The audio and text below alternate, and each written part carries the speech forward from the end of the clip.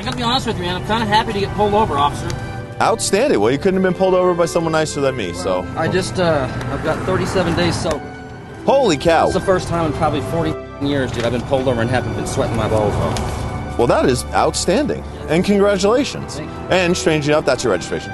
And strangely enough, tonight we are doing a DUI task force, and that's actually why I stopped you. Is we're looking for impaired drivers. and sometimes We're a meeting right now. perfect. And sometimes, obviously, impaired drivers Yes. don't uh, don't stop at stop signs. Exactly.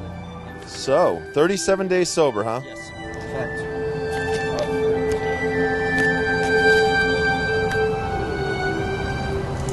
There's my chips. Man, those are good to have in your pocket. So, obviously, you committed a violation of Arizona motor vehicle law tonight, right?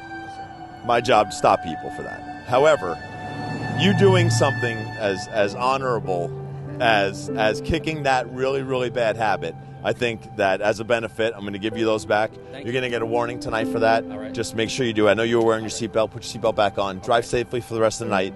Continue to fight this fight because it's it's a good one. Officer, I appreciate it, man. You're welcome. Need all- all the help I can get. Keep fighting the good fight, sir.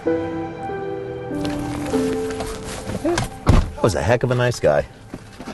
So, uh, he says that he was glad to be pulled over because he's 37 days sober. He's on his way to a meeting right now. 100%. Absolutely. No, no odor, no, no signs and symptoms whatsoever. Um, had a thing of sparkling water in the center console. Um, yeah, I, there's nothing, nothing in there said that he was possibly impaired at all, and he's uh, starting a new chapter in his life, and I think that's pretty cool. So he gets a warning for that.